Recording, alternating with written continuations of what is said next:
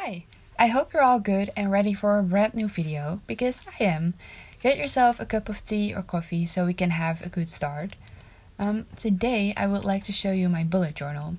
I worked in this one for quite some time, from April 2018 until November last year. It was my first bullet journal and I actually collected a lot of cool ideas and inspiration for you to start with a bullet journal as well. If you want to know how to spice up your notebook and how to decorate it, I am sure you will learn from this video. Before I forget, my journal is from the brand Code and Quill.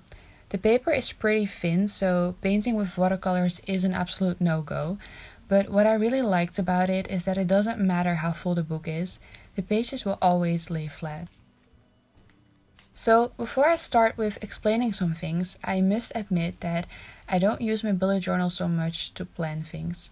Sometimes I do that, but while working in it, I realized that this journal is more a collection of things that make me happy and that I want to remember. I include pictures in it, cards, receipts, and quotes. I also made drawings and paintings. This is actually a great way to fill the blank spaces in your journal. As you might have noticed already, the notebook does have some water damage. This is kind of sad, but I couldn't really find a way to fix that.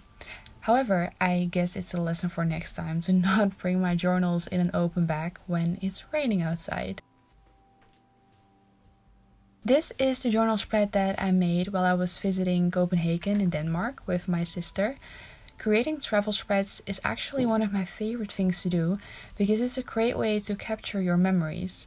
I always recommend it to people to keep all your travel cards, receipts, and pictures because nothing is better than looking back at your travels after a couple of years and remembering all these good events.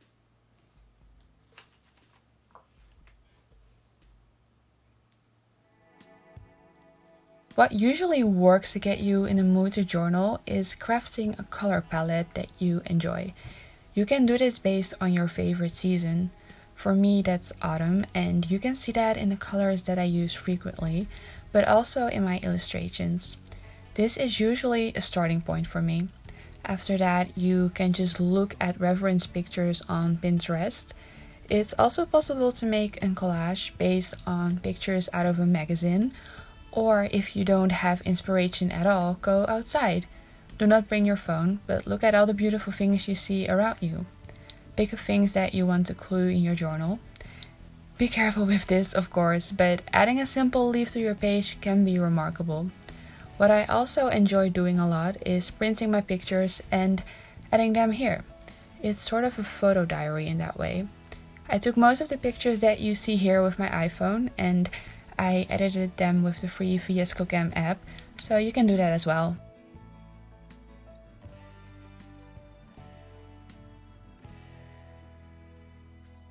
There are so many other ways to decorate your journal. Other things that I frequently use are washi tape, flowers that I bought at my local supermarket and dried between the pages of a book for a couple of weeks, and stickers.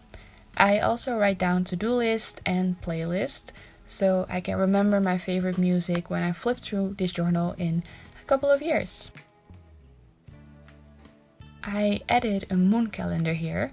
This calendar basically tells you on which dates in the year there will be a full moon.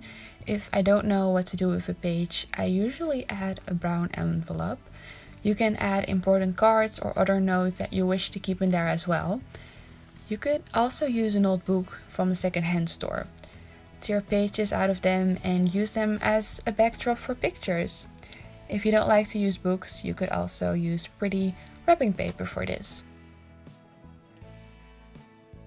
If you journal often, you will probably end up with a basket filled with papers that you can reuse.